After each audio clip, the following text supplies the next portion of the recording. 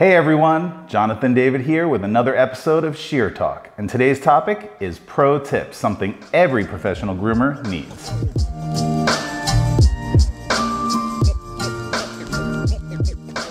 Let's talk about some tips for drying and cutting your drying time. A great tip for cutting your drying time and making sure water doesn't spray all over the place is to put an absorbent bath mat underneath the dog when you're doing the force dryer.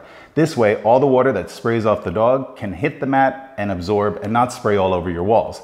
Another great tip is to take a towel and hold it behind the area that you're going to dry. So if you're holding the leg and you use the force dryer like this, you can spray all the water into the towel and it doesn't go all over your table and all over your walls. Another great tip for reducing drying time is to pre-clip the dog before they go in the bath. If you have a really hairy dog, and maybe they're not matted and they don't necessarily need to be shaved down before, but they're getting a short haircut, why waste the time bathing and drying hair that's gonna come off anyway? So take out your clipper or your scissors, rough cut, get all that hair off, then you have less hair to wash and dry. It's gonna cut your drying time and cut your grooming time so that you can do more dogs in a day. Have you ever had one of those dogs that just struggles when you're blow drying them and they put their feet up and they try to stop you from using the blow dryer or cut their nails or do anything around their face? Take an Elizabethan collar normally used to go out this way to stop a dog from chewing themselves and flip it the other way. If it goes down this way, they can't put their feet up and they can't hit you with their paws when you're trying to do things around their ears, their eyes, or cut their nails. We've all had one of those dogs who hates the blow dryer, and we know how that is. They fight you, they throw their head around, they jump away. Here's a tip to help reduce stress when a dog is getting blow dried. You can get a product like Happy Hoodie. A happy hoodie is an elastic piece of material, kind of like a sweatband, that goes around a dog's head and it covers the ears. This muffles the sound of the dryer and this also muffles any wind from going in the ear. Now, if you don't have a happy hoodie on hand, don't fear. You can use a cotton ball. Take a piece of cotton, put it inside the dog's ear canal because most dogs that refuse blow dryers in the face, it's because the wind whipping past their ear is either too noisy or it's irritating to their ears. So try cotton balls or a happy hoodie. Now, if you don't have either of those on hand, take an old pair of socks, cut a tube and use that as just some way to muffle the sound. This helps the dogs reduce their stress and they'll fight you a lot less. Have you ever had hair that gets caught in a Dremel? What a nightmare. Here's a great tip to avoid that. You can try Dremeling when the hair is already wet so you can pull it back and there's less chance of the hair getting caught up in the Dremel. Or buy some stockings either fishnet stockings or nylons that you can slip over the foot and put the nails through. And this way, all the hair is pushed back from the netting and the nails poke through for you to cut and Dremel with a clean surface and no hair to get in your way. One of the most common dirty issues we see is goopy eyes and eye corners in dogs. When all this crust builds up in the eye corner and the owners bring them in and we have to pull that off. Well, Here's a pro tip so that you can do that safely without causing any irritation to the eye. First, take an eye wash. Any type of sterile eye wash that's safe for humans is safe for dogs. Saturate a cotton ball and completely soak the area with the solution. Once it's completely saturated, use a flea comb or any comb that has a lot of fine teeth close together and gently comb that away from the skin. Some people have recommended using a toothbrush to scrub the area.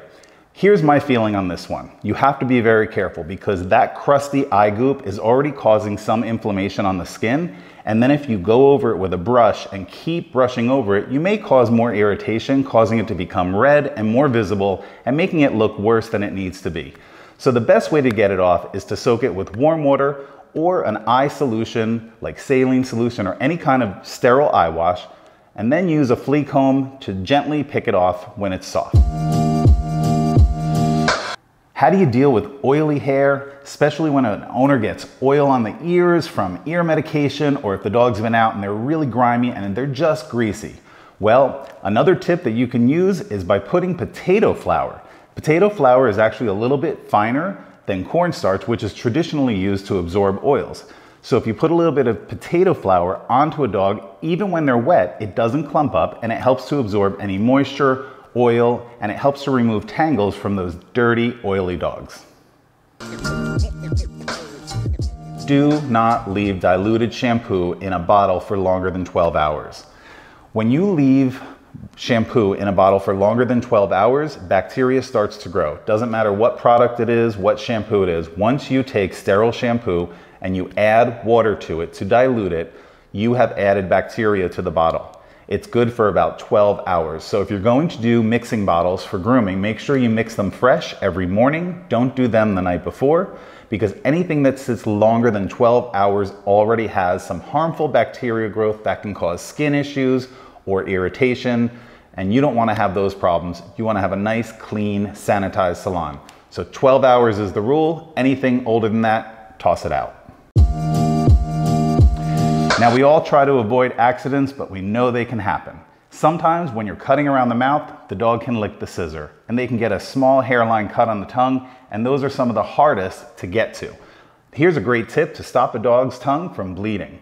All you have to do is keep some sugar packets on hand. Open up that sugar packet, pour it onto the area that's bleeding, and the sugar coagulates and helps to restrict the blood vessels and reduce the bleeding. Within a few licks and a few minutes of calm soothing of the dog, that cut will stop bleeding and you can proceed with the grooming. Here's another tip that a lot of groomers overlook, and this is in the sanitation department.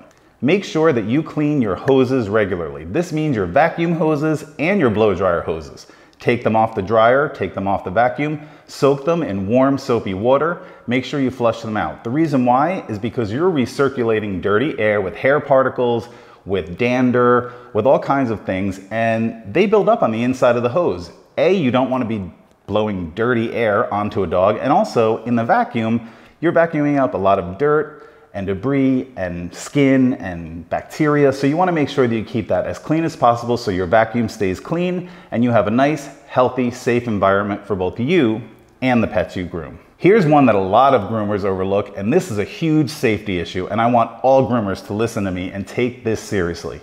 You need to make sure that you check behind your outlets for hair buildup. Whether you're in a salon or a mobile unit, look behind your outlets. Take the plate off and look because hair builds up behind those outlets and those outlets get so hot.